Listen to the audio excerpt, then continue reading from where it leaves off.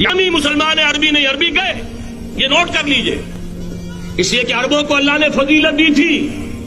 मोहम्मद उनमें से थे, सल्लल्लाहु अलैहि वसल्लम। ये रुतबा बुलंद मिला जिनको मिल गया। लेकिन साथ ही अल्लाह ने धमकी भी दे दी थी सूरह मोहम्मद में।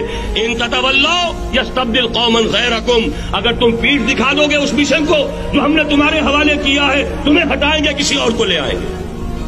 और ये बात हो चुकी है तेरहवीं सदी ईस्वी में, बारह में, जब सकूत बगदाद हुआ है, अरबों के हाथ से आलम इस्लाम की क्यादत छीन ली गई।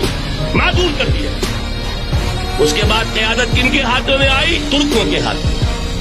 तुर्कान तैमूरी हिंदुस्तान में, तुर्कान सफवी ईरान में, तुर्कान सलजूकी मिडल ईस्ट में, और तुर्कान उस्मानी का तो कहना ही क्या है, वो एशिया माइनर से चलकर आपको मालूम है कि बरसती यूरोप का कितना बड़ा इलाका द ग्रेट ऑटोमान अम्पायर की सदी के आगाज़ तक कायम थी। इस सदी में अजीब अजीब मौजे हुए हैं। ग्रेट ऑटोमान अम्पायर जो तीन बर्रे आजमों पर मोहित, नामो निशान खत्म।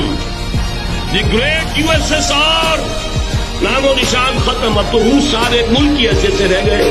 ये इस सदी में दो दो और वक्त नहीं है। मैं और आपको क्या बताऊँ, इस सदी में तो बड़े बड़े अजीब आजूबे हुए हैं।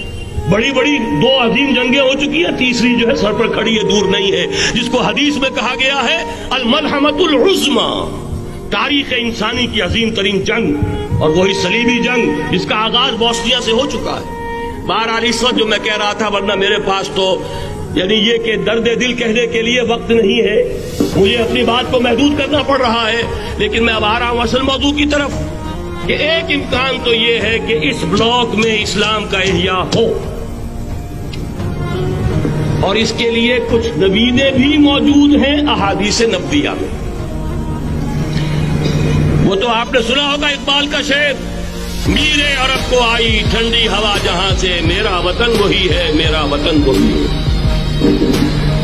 हदीस में आता है, यखरुज नासुम मिनल मशरक युवतेऊन अली महदी, यानी सुल्तान मशरक से फौजें निकलेंगी, ये जो कि महदी की हुकूमत कायम करेंगी। और ये होंगे होंगे हज़रत फातमा की नस्ल ही से रज़ी अल्लाह तहा लेकिन आलम अरब के अंदर फिर एक ताकत बनकर उभरेंगे, बातिल की कुतों के खिलाफ जिहाद करेंगे।